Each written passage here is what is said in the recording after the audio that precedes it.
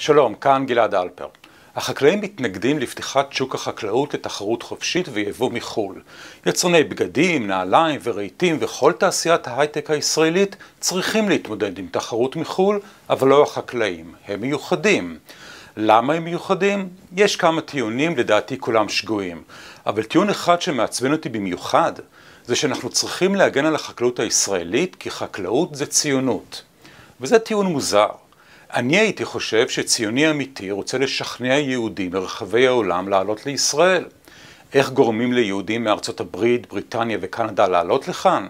התשובה ברורה, רק כלכלה משגשגת ואטרקטיבית תצליח למשוך את המוני היהודים שחיים כיום במדינות המערב. אבל בגלל שאין תחרות חופשית במשק החקלאי, הפירות והירקות יקרים ולא איכותיים. מוצרי החלב יקרים, יש חוסרים, הביצים נגועות בסלמונלה וכולי.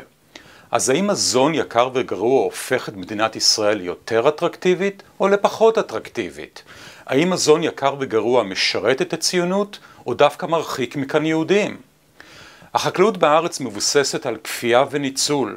הלובי החקלאי והפוליטיקאים שמשרתים אותו מונעים מאזרחים ישראלים לייבא פירות וירקות מחו"ל, אוסרים על יזמים לפתוח לולים ולמכור ביצים בשוק החופשי, ואוסרים על מכירת חלב בשוק החופשי.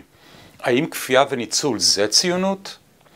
אני לא אומר שעצם פתיחת שוק החקלאות לתחרות חופשית תהפוך את מדינת ישראל למופת של חירות ואושר ותממש את החזון הציוני האולטימטיבי. צריך לעשות עוד כמה דברים בדרך. אבל אני אומר שמדינה שנשלטת על ידי קבוצות אינטרסים קטנות, שמתעמרות בכלל הציבור, זה בוודאי לא הדרך הנכונה, וזה בוודאי לא מוסרי. אגב, אתם יודעים שתוצרת חקלאית איכותית לעיתים קרובות מיוצאת לחו"ל? שם יש תחרות חופשית, לכן החקלאים הישראלים חייבים למכור בחו"ל תוצרת איכותית. אבל לנו, הישראלים הפשוטים, שומרים את התוצרת הנחותה, כי הרי פה אין תחרות חופשית כי היבוא מוגבל, אז לנו דוחפים את הבררה, ציונות עלק.